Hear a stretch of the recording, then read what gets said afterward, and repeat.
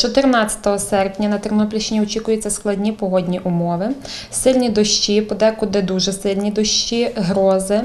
Е, Вже наприкінці доби 13 серпня та на всю добу 14 серпня е, ми прогнозуємо шквали та пориви вітру е, 17-22 метри за секунду, подекуди 25-27 метрів за секунду.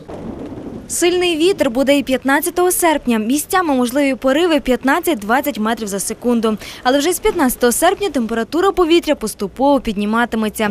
Опади Тернопільщину не покинуть до кінця тижня, обіцяють у гідрометцентрі. Тож на мешканців області і далі чекають дощі, але слабші. Така холодна та волога погода не передвіщає закінчення літа, кажуть синоптики. Вже наступного тижня температура повітря буде комфортною літньою. Подекуди випадатимуть короткочасні дощі.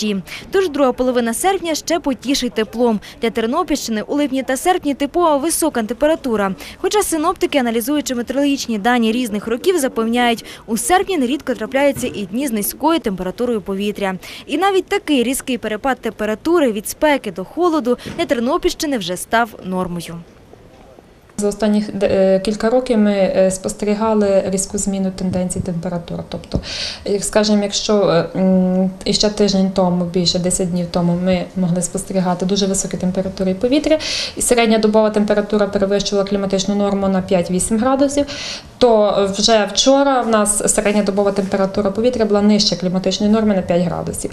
Отакий різкий перепад температур в останні роки є типовим для нашого регіону.